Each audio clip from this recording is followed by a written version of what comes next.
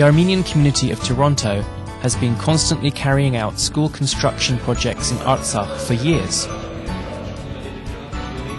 Breaking with tradition, our compatriots in Canada last year took on the project of completely renovating the cultural centre in Shushi.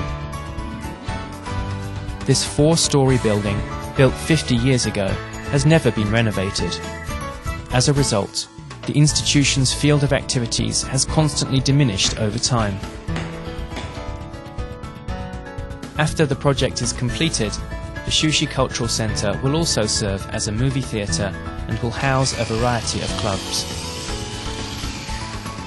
The Fund's Toronto affiliate, however, didn't stop there. It launched projects in the health and social sectors in Armenia. The project in the field of social services aims to tackle the problem of seniors living on their own. The second and third floors of the Nork nursing home are being fully renovated. The All Armenian Fund is now doing a total rebuild. The electric system is being replaced, and the lavatories and floors are being renovated. The work really needed to be done. There are 230 seniors residing at the Nork nursing home. It's where they spend the golden years of their lives.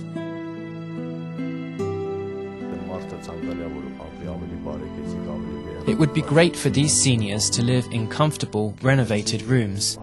It's much more pleasant. The fund is now making this a reality. With resources from the fund's Toronto affiliate, the dialysis and nephrology units at the Nor Nork St. Gregory the Illuminator Medical Center are being upgraded. About 40 patient rooms and offices are being renovated, some with lavatories. It's a full renovation. The floor is being replaced, the electrical wires upgraded, and surface tiling installed.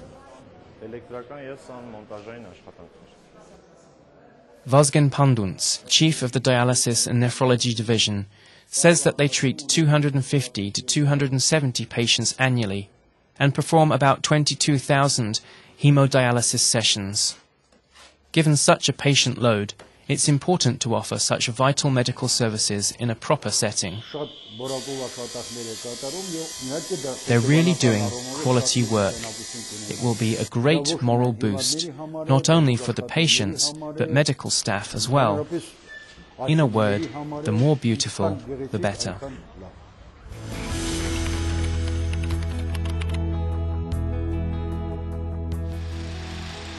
A new water distribution system has started to be built in the village of Karintak, located in the Shushi district of Artsakh.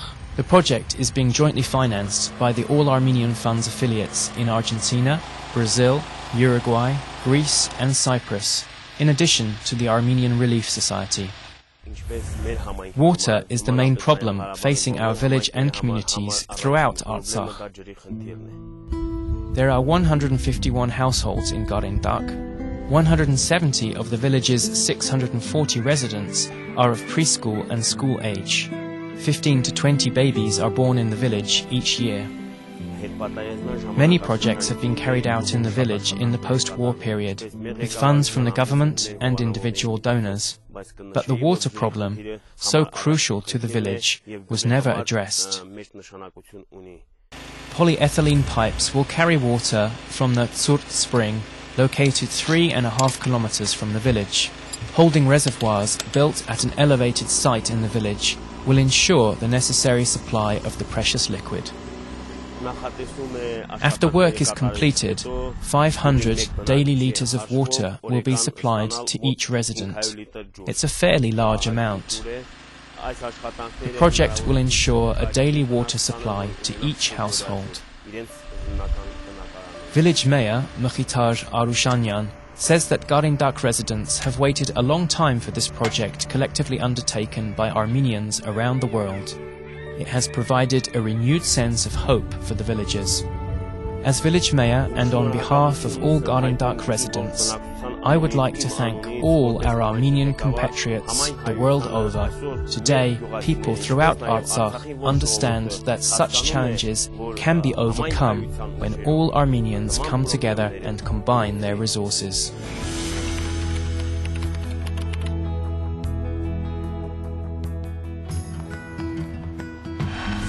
With a $1 million grant from British Armenian benefactor Garabed Nazarian, the Hayastan All Armenian Fund is carrying out a total renovation of the Kapan Medical Center's pediatric unit in Syunik Marz.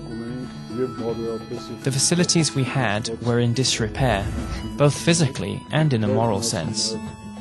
Our technical facilities were quite inadequate. Today, that scenario has totally changed. Director Orbelian believes that an improvement of overall conditions will directly impact on the level of medical services provided. It is vital that patients be treated in an environment that is functionally appropriate, with all the proper conditions in place. When the technical facilities are upgraded and the furnishings modernized, there is no doubt that the overall result will radically improve as well. Children suffering from somatic illnesses are treated here. Medical rehabilitation and intensive therapy units treat 400 to 500 children every year. Two new services will be offered. First, the problem of creating a regional rehabilitation center for children with mental and physical development disorders will be resolved. Given the new equipment at the rehab unit, we will be able to provide a new level of quality care to children in need of urgent treatment. Medical Centre Director Sumbat Orbelian believes that the joint efforts of the Fund's Great Britain affiliate, the construction crew, and medical staff have achieved a much desired result. It was a very serious collaborative effort. It was our wish, and I'm sure the wish of the builders, that the benefactors experience a real sense of satisfaction when they visit. Without a doubt, this has been realized. There is no comparison between what existed before and what we see now.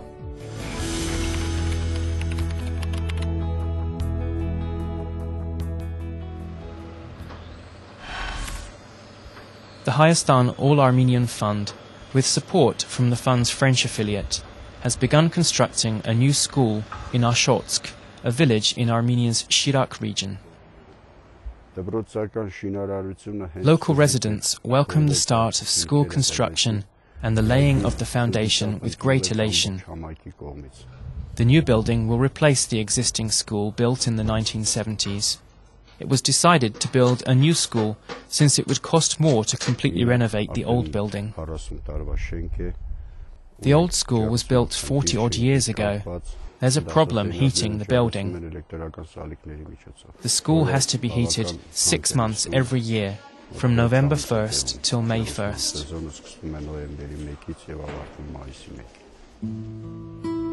The old school annex has over 1,000 windows making it impossible to adequately heat in this northern community. Nevertheless, Principal Khachaturian believes that they have succeeded in maintaining educational quality. You know, students at the Ashotsk school have always stood out in terms of educational excellence. But it would be great if they could learn in an improved environment. Not only would it positively impact on education in general, but would double the achievements we realize today. The future campus will consist of four wings, two buildings for classrooms and administrative offices, a gym, and a structure which will house an events hall. The site will also feature a sizable playground, designed to accommodate up to 360 students the school will be equipped with central heating and air conditioning. On behalf of the entire community, from the teaching staff down to the students, I would like to express our sincere thanks to the benefactors. May God stand with the builders and benefactors, so that this good work is finally completed. The Hand in Hand program is a unique monthly feature that showcases the projects and accomplishments of the All Armenia Fund. It allows Armenians the world over to see exactly how their contributions are being used for the benefit of the people of Armenia and Artsakh. Every contribution, whenever made, assists in the development of Armenia and Artsakh. Contributions can be made any time and at any hour. It is you who decides. There is no better time than today, right now,